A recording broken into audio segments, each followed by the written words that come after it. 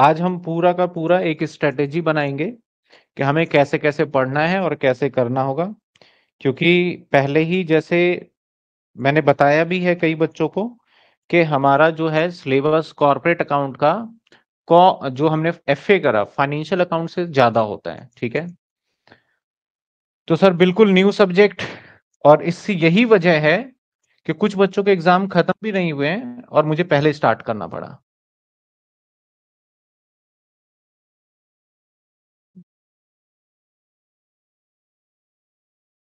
कौन-सी बुक जितने भी डाउट्स हैं, आज सारी चीज़ें देख लेंगे।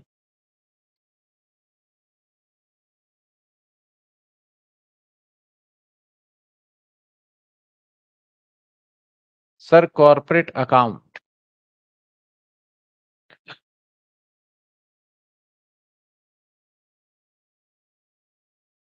बेसिकली आज हमारा एक इंट्रोडक्शन है।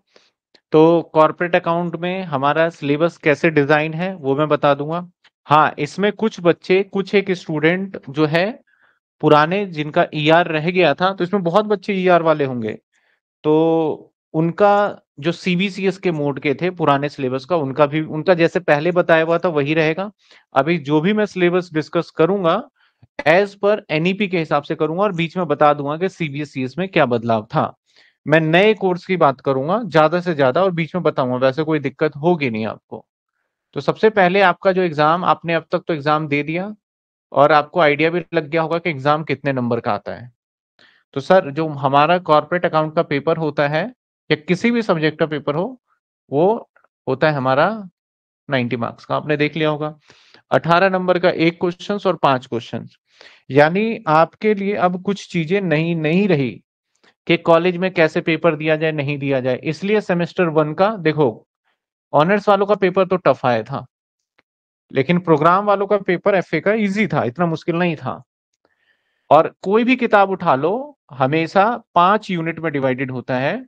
जैसे कि यूनिट नंबर वन मैं भी पाँच यूनिट के हिसाब से ही समझा दूँगा एक है हमारा unit number two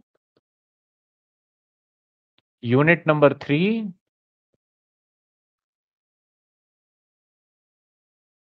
unit number 4 और लास्ट यूनिट नंबर 5 5 यूनिट है। किस यूनिट में क्या चैप्टर आएँगे किस चैप्टर को कैसे पढ़ना है, प्रैक्टिकल आएगा, थ्योरेटिकल आएगा। ये सारी बातें इसके अंदर हम देख लेंगे, ठीक है? अब बहुत सारे स्टूडेंट का सबसे पहले कुछ बच्चे होते हैं जो कि सेल्फ पढ़ भी रहे हैं या यूट्यूब पे वीडियो पुरानी पड़ी है वो देख भी लेते हैं। तो मैं उन सभी बच्चों को ये कहना चाहूँगा कि सिलेबस हर साल कॉर्पोरेट अकाउंट का अपडेट हो जाता है, चेंज हो जाता है कुछ ना कुछ। और जो यूट्यूब पे वीडियो पड़ी है, वो काफ़ी पुरानी वीडियो है। या फिर आप गूगल भी करते हो, तो कई बार आपको पुराने आंसर्स निकलते हैं, तो उसके ऊपर बिलीव ना करें। जो लेटेस्ट है, उसके ऊपर हमेशा आपको लेके चलना है। बुक्स आपको कॉर्पोरेट अकाउंट का कौन-सा लेना है, दैट इज़ अभी आप जो पहले सेमेस्टर वन में थे, कॉलेज के अंदर दो ही बुक ज़्यादा पॉपुलर है एक जे आर मोंगा अभी मार्केट में नहीं आया होगा एंड सेकेंड वन इज़ आपका बी.के. गोयल, भूषण कुमार गोयल। ठीक है? ये दो बुक है। मैं आपको जे आर मोंगा से पूरी की पूरी तैयारी करवाऊँगा। तो आपके कॉलेज में ज़्यादातर कॉलेज में जे.आर. मोंगा प्रेफ़र्ड किया जाता है।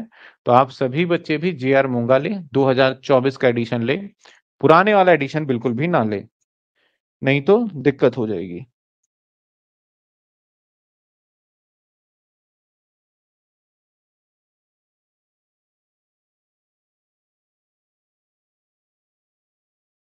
सर सेमेस्टर वन का पेपर बीकॉम ऑनर्स का तुलसियान के बुक से आया था। मैंने टेक्समैन पब्लिशर से पढ़ा था। ठीक है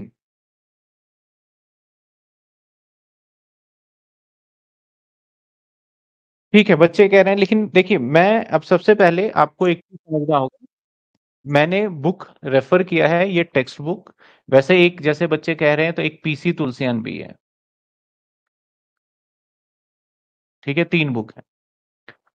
मैं आप सभी बच्चों को बताना चाहूँगा टेक्स्ट बुक जितने भी हैं वो सिर्फ़ प्रैक्टिस पर्पस के लिए हैं ठीक है? अगर आप प्रैक्टिस बहुत अच्छे से करते हो कॉन्सेप्ट वाइज करते हो तभी कॉर्पोरेट अकाउंट का पेपर कर पाओगे। अगर आपने कॉन्सेप्ट वाइज नहीं सिर्फ़ ये क्वेश्चंस है इसका आंसर इस तरीके से हो जाएगा इसका आंसर तो नहीं कर पाओगे कॉर्पोरेट का पेपर क्योंकि जो सबसे लेंदी पेपर होता है पूरे आपके एंटायर ग्रेजुएशन की बात कर रहा हूँ उसके अंदर आपका कॉर्पोरेट अकाउंट ही होता है, जो सबसे लेंदी रहता है एक पल को आप देखो तो। अब ऑनर्स का पेपर टफ आया था पैटर्न भी थोड़ा चेंज किया, चाहे एस का, चाहे रेगुलर का, लेकिन आपको उसी के हिसाब से प्रिपरेशन करके जाना पड़ेगा। जो चीज़ें हैं, वो प्रॉपर तरीके से आपको देख के जाना होगा। अब हम यूनिट वन की बात करें तो यूनिट वन में पहला चैप्टर है हमारा that is share capital sir, एक ये चैप्टर है जो कि आपके ट्वेल्थ क्लास में था। लेकिन आपने ग्यारहवीं क्लास में फाइनल अकाउंट भी पढ़ा और सेमेस्टर वन में भी आपने फाइनल अकाउंट पढ़ा। तो दोनों फाइनल अकाउंट में फ़र्क ये था, सब कुछ सेम था, बस कुछ एडवांस एंट्री हमें देखने को मिला। सेम ऐसे ट्वेल्थ क्लास में जो आपने शेयर कैपिटल यानी share forfeiture reissue पढ़ा है, सब कुछ सेम रहेगा, बस थोड़े से एडवांस उसके अंदर कॉम्प्लिकेशन वाले क्वेश्चंस बना के देंगे। जो कि आपको सीखना होगा। जिस बच्चे का शेयर कैपिटल बहुत स्ट्रांग है ट्वेल्थ क्लास में, वो बच्चा पूरा कॉर्पोरेट अकाउंट को अच्छे से समझ पाएगा। क्योंकि देखा जाए तो बेसिक यही है। जिस स्टूडेंट का नहीं है, उसके लिए मैं अलग से रिकॉर्डेड ट्वेल्थ के सिंपल सिंपल से क्वेश्चंस फोल्डर में बना के डाल दूँगा और उसको उसके हिसाब से आप पहले देख लेना और साथ के साथ लेके चलना ताकि आपको जल्दी समझ में आए। दूसरा चैप्टर हमारा इसके अंदर आता है। दैट इज़ बोनस शेयर हाँ किताब में आपके ऊपर नीचे हो सकता है चैप्टर। तीसरा आता है राइट इशू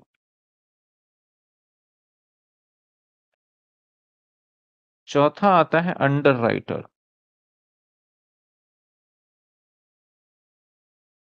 पांचवा आता है इसॉप छठा आता है redemption of preference share capital सातवां आता है इशू ऑफ़ डिबेंचर आठवां आता है रिडम्शन ऑफ़ डिबेंचर ये हमारा देखो यूनिट वन है। और मेरा मानना इससे आधे में तो आपका एफए खत्म हो गया था।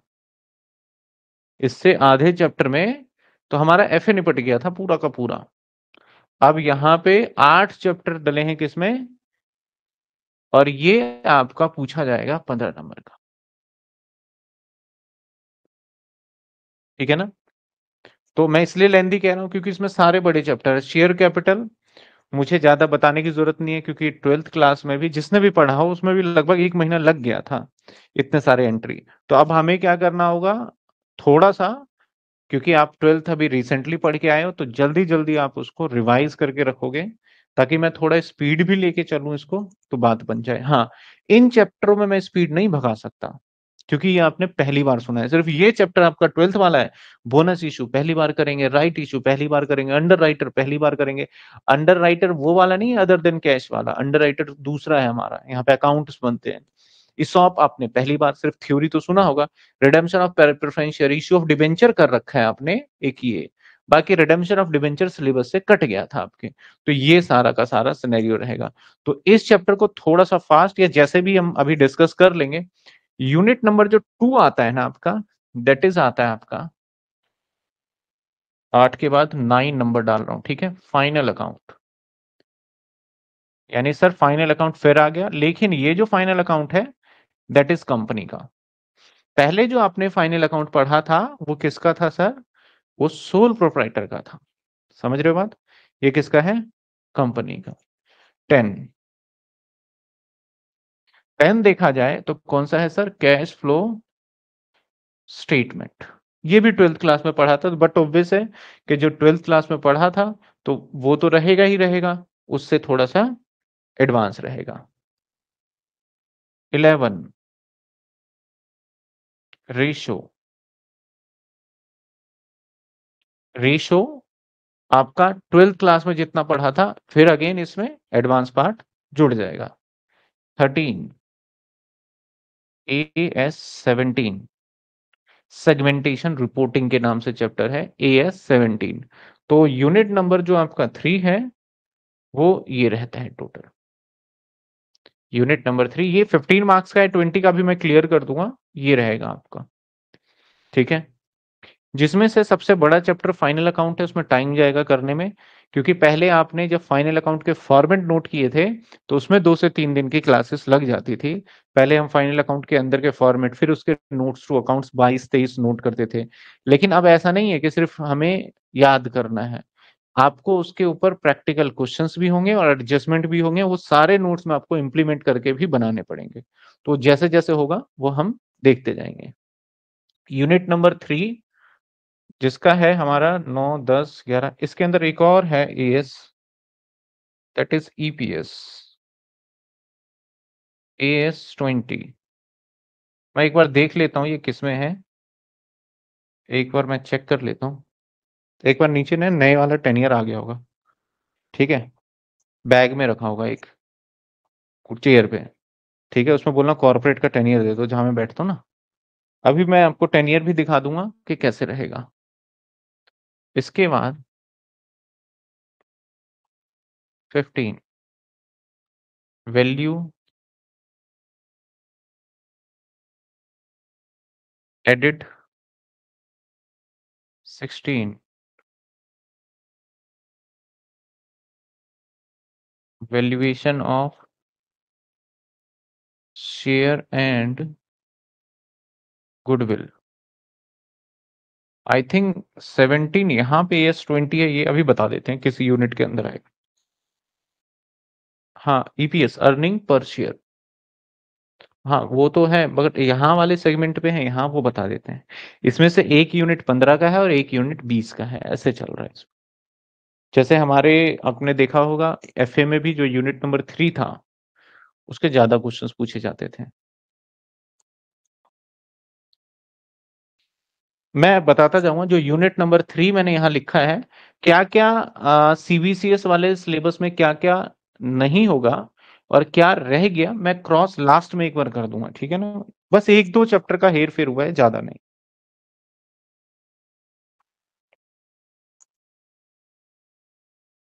इसके बाद और भी चैप्टर लिख लेते हैं। दैट इज़ आपका रिकंस्ट्रक्शन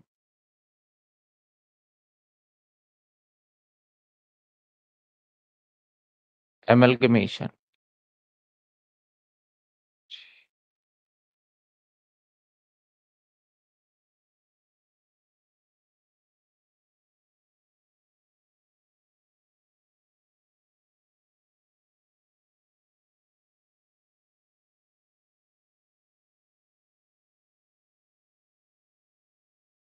ये हमारा फोर्थ यूनिट है इधर, ठीक है? ये वाला फोर्थ यूनिट थोड़ा साइज़ रिड्यूस कर देते हैं। मिल गया? अरे, ये नहीं लाना था। चलो। कॉर्पोरेट अकाउंट ये पुराने वाला है।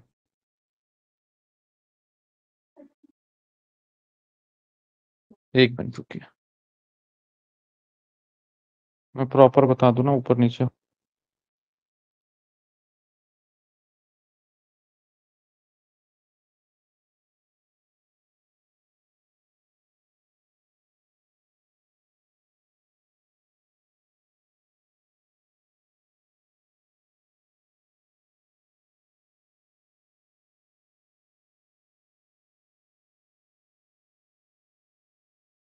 सर सेमेस्टर चार्ज जिसकी बैक है वो भी ओके नहीं सर सीबीएस वाले हैं। सर मेरे कॉलेज में टीचर्स ने यूनिट वन खत्म भी करा दी। अब देखो कॉलेज में टीचर ने यूनिट वन खत्म करा दिया। पेपर तो अभी खत्म हुए इतनी जल्दी कैसे खत्म हो गया? नहीं तो हाँ देखो कॉलेज के अंदर तो देखो जल्दी जल्दी खत्म कराते हैं वो।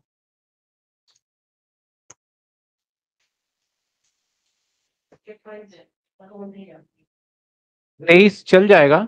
लेकिन मैं कहूँगा कि आप सभी को चौबीस का ही लेने के लिए। बिज़नेस क्या नाम है? इंटरेस्ट बिज़नेस का कोर्स बना दिया लॉन्च करना है। अभी रुक जाओ। हाँ मैं कर कर दो।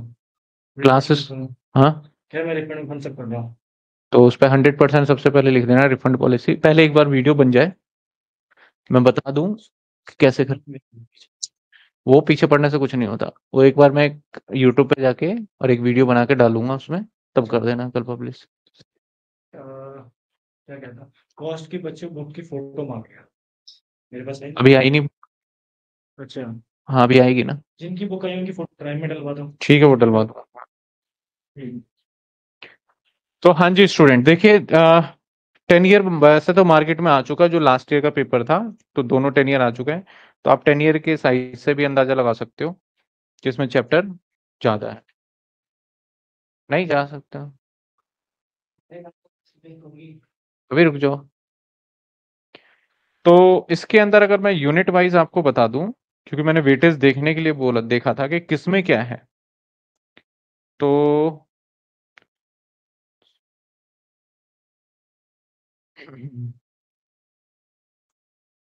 आपका ए एस चौदह ईपीएस इसमें है।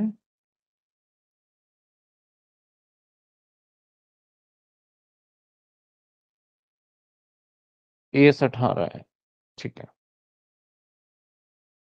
इसमें ध्यान से देखो तो सत्रह नहीं है, यही थोड़ा कंफ्यूजन था किस यूनिट में। है तो ये सत्रह हमारे सिलेबस का पार्ट लेकिन इसमें नहीं है, यहाँ ए एस अठारह है, ठीक है। आगे चलते हैं, सर। ये हमारे दो अलग अलग चैप्टर हैं, सोलह के बाद, सत्रह, और इसको अठारह दे देते हैं, ठीक है। अब थर्ड यूनिट की तरफ़ चल जाते हैं। ये पूरा चैप्टर हमारा थियोरिटिकल है। ठीक है? इसमें ए एस सत्रह आ जाएगा और इसमें आ जाएगा सी एस आर चैप्टर का नाम है आपका कॉर्पोरेट सोशल रिस्पॉन्सिबिलिटी के नाम से चैप्टर होता है। ये आ जाएगा। इसके बाद इसके अंदर आ जाएगा हमारा डायरेक्टर या एनुअल रिपोर्ट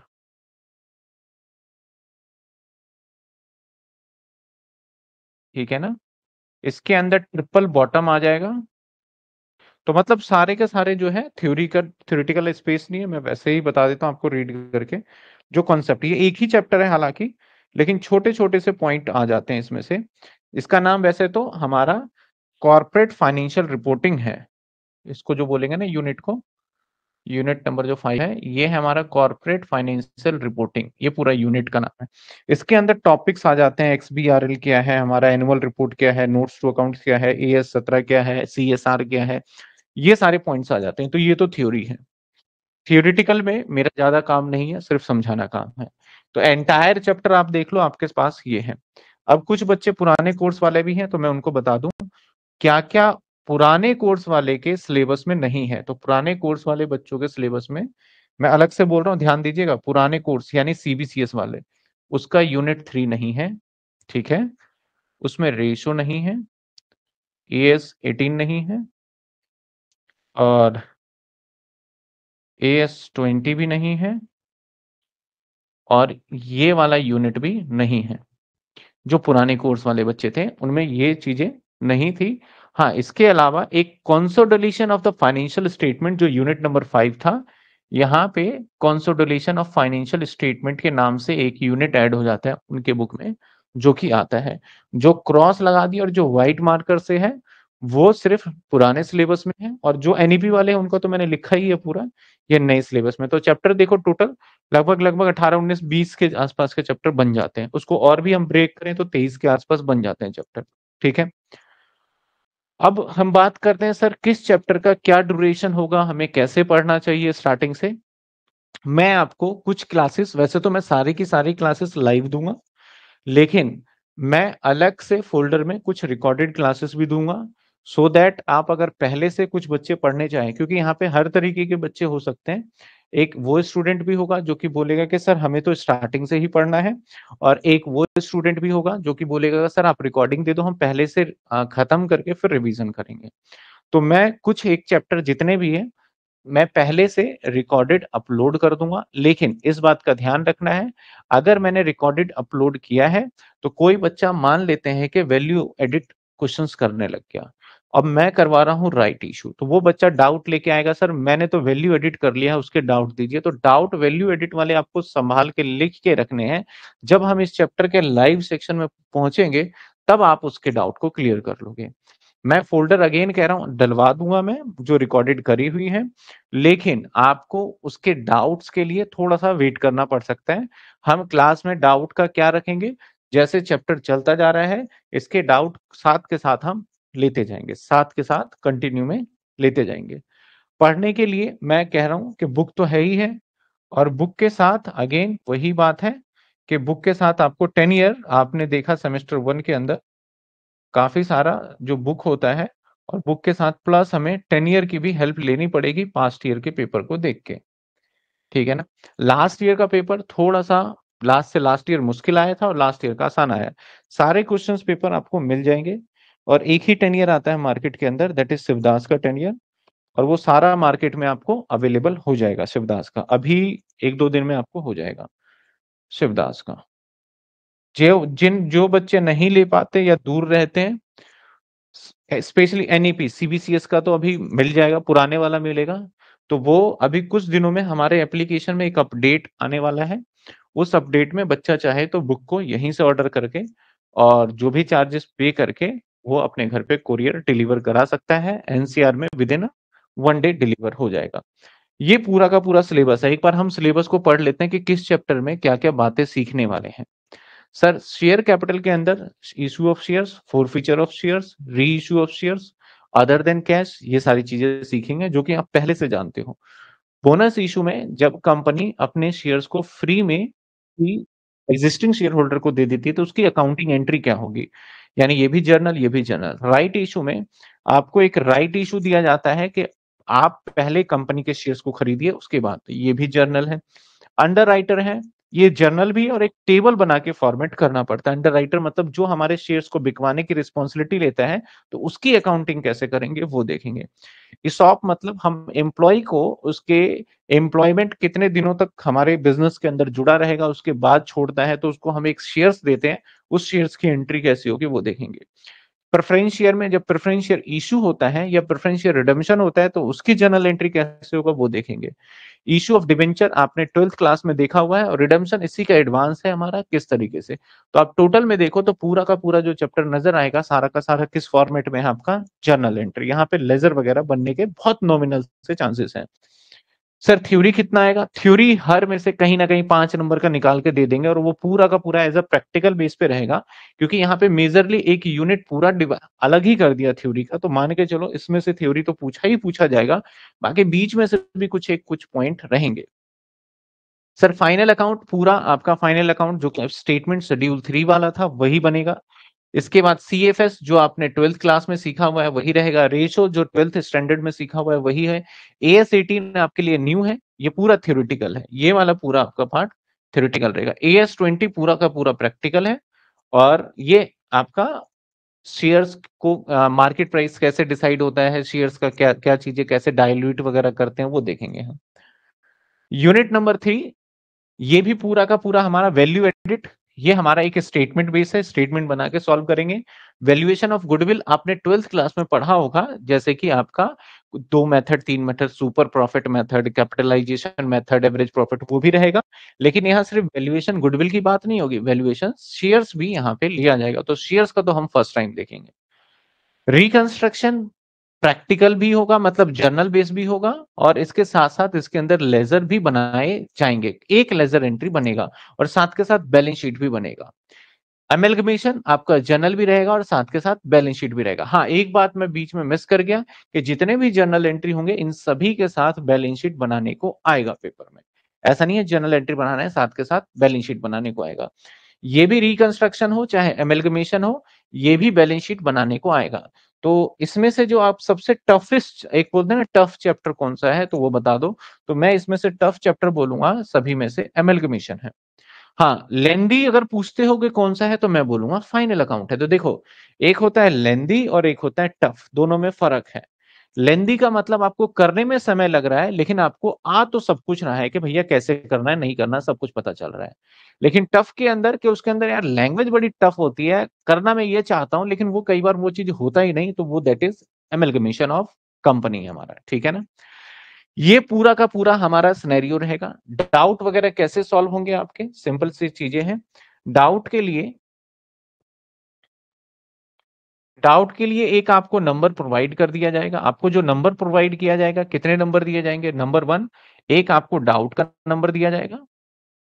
नंबर दो, एक आपको कंटेंट यानी जो आपके वीडियोस हैं, उस वीडियोस को कैसे मैनेज करें, वो नंबर दिया जाएगा। नंबर थ्री आपको एक नंबर दिया जाएगा दैट इज़ कंप्लेन